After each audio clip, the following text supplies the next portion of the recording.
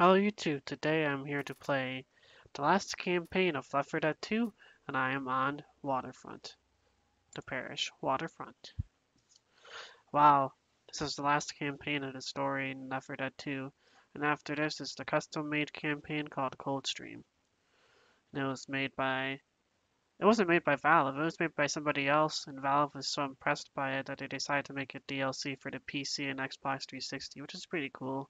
How Valve takes appreciation in somebody else's work for the game. And I decided to keep the modified characters, make them more entertaining. Alright, well,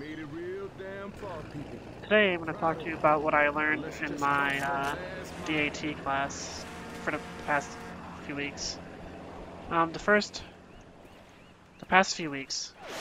So, one, I learned how to cut videos in Adobe Premiere Pro, put them all together and stuff like that. And then I went to After Effects and put the text in there. And then I put it into Media Encoder and outputted the video to that MP4 format, and then I uploaded it to uh, Google Drive so the teacher can see it and grade it. And then we learned also the audition, which audition, we learned how to enhance the file, we learned to enhance the audio, cut out silent audio, and we did noise reduction in the pauses where there's no noise because there's noise still going on in the room. We want to make that noise in the room empty. Did that well. Pretty nice. Then after that, we used we, used a software called uh, Dreamweaver. And Dreamweaver is a web building software where you can use H add HTML to your web layout. It's already made in uh, InDesign. And InDesign is where you make the layout and then Dreamweaver where you add code to the layout. Let me see if I can take the shell here. Reloading. Oh. I don't think we can go up there now, can we? Oh yeah, we can still. Look at that. Coach and Ellis to the rescue. Come on. wow. I thought Rochelle was screwed up at that point, but apparently she's not. Ooh, stupid. I think it's to plays a song by Jonathan Coulton. Reloading. Jonathan Coulton's a good writer. He Jonathan Coulton wrote the songs for Portal 1 and Portal 2. Still Alive and Want You Gone, which are pretty good songs. You know what? I think I want to do Portal after uh, Left 4 Dead 1 and 2.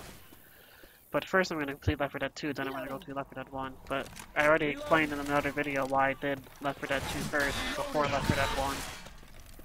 So you guys can check that out. Here's the Spitter that acid everywhere. Jeez.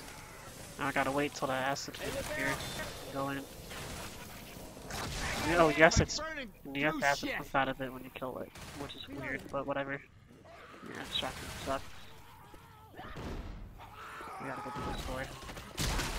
Yeah, it's been a while. Get out the weird glitch. Okay. All these guys here. Oops, and I accidentally shot the car, which that means a horde's coming. God damn it. No, jockey! Yo! Oh my god. Just do both of you at the same time, gotta go help the other person. Really? One of you could help me, and the other could help that person. God damn it. Ugh. Fucking morons.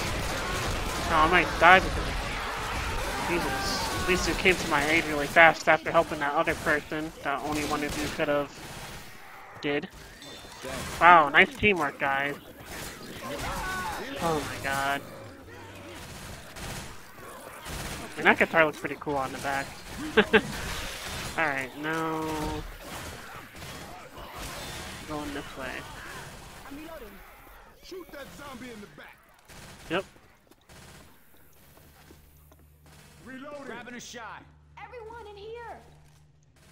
Go up these stairs, I think. Reloading. Oh no, this is a safe house. Okay. Like Thanks, Ellis, for closing it. Alright, well, this is the end of the parish. number one, and now next video, do number two park. See you guys later.